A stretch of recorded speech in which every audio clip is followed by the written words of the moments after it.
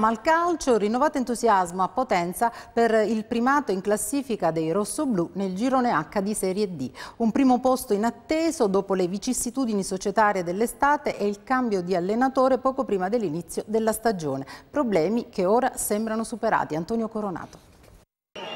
Una rosa incompleta a campionato già iniziato, un allenatore subentrato al precedente solo cinque giorni prima dell'esordio, una squadra costretta a giocare le prime gare interne lontano dal proprio stadio. Sembra il lungo elenco di ragioni che spingono verso le secche del fallimento, ma le premesse a volte ingannano. È il bello del calcio, una bellezza che a Potenza apprezzano, perché i rossoblù dopo due giornate sono a punteggio pieno, due vittorie per 1-0 a Manfredonia e contro il Cinzia, la porta inviolata, il primo posto in classifica, sono tutti segnali positivi, ma a colpire colpire è stato soprattutto il gioco dei Lucani. Mister Egidio Pirozzi, appena arrivato, ha saputo gestire i limiti di un gruppo incompleto e imbottito di under, valorizzando la coppia di centrocampisti Esposito e Dallocco.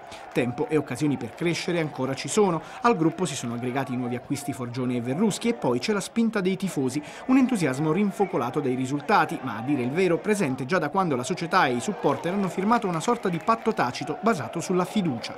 I giocatori l'hanno ricambiata in campo e i dirigenti, per eliminare i malumori malumori ed equivoci, hanno assicurato che rimborseranno gli abbonati e i minorenni erroneamente costretti domenica scorsa a pagare il biglietto d'ingresso. La prossima trasferta a San Severo sarà un banco di prova impegnativo, in attesa del match del 25 settembre, quando al Curcio di Picerno, campo neutro non si sa ancora per quanto, in attesa del completamento dei lavori al Viviani, arriverà l'altra capolista tra Stevere e Roma. Una squadra nota per due ragioni, è allenata da Sergio Pirozzi, omonimo dell'Egidio Rossoblù e soprattutto sindaco di Amatrice, per ovvi motivi è al momento sostituito in panchina da un vice.